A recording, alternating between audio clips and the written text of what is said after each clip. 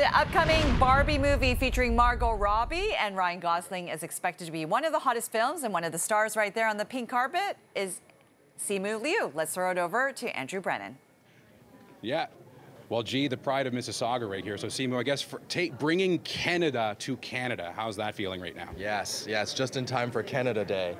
Um, it's it's an incredible feeling, you know. Obviously, Toronto is home, and uh, it's always so great to be back. This time, I brought the Gos with me, which I think is pretty incredible because it's a homecoming for him too. I think he's, you know, it's been a hot sec since he's been home, and obviously Canada loves him. We all know he's you know such a pride and joy of the country, and uh, I'm just I'm really excited and like kind of honored that I got to be in this movie with him. It's pretty incredible. Well, the, the, that's obviously an honor, but the honor for people that grew up in the city that haven't haven't made it, seeing seeing what you're as a homegrown talent.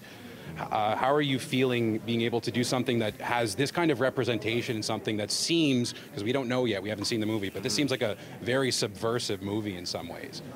Yeah, it is. It is a very subversive movie. You know, it's just it's got that kind of self-aware, irreverent, um, um, you know, kind of tone, but it's also incredibly touching. I think it really speaks to Greta's, you know, vision. She's obviously just like such a unique um, filmmaker and, and, such an important storyteller today.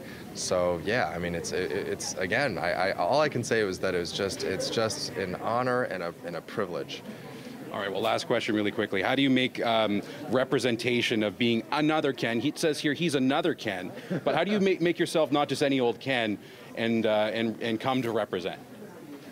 Yeah, again, I mean that's a, that's a great question. I mean, I was just so happy to come to work, and and you know, I, first of all, I did not know that I was going to be a Ken doll, but uh, recently got um, I got to come face to face with my with my Ken doll, so that's pretty incredible. I think represent you know representation is such a it's like.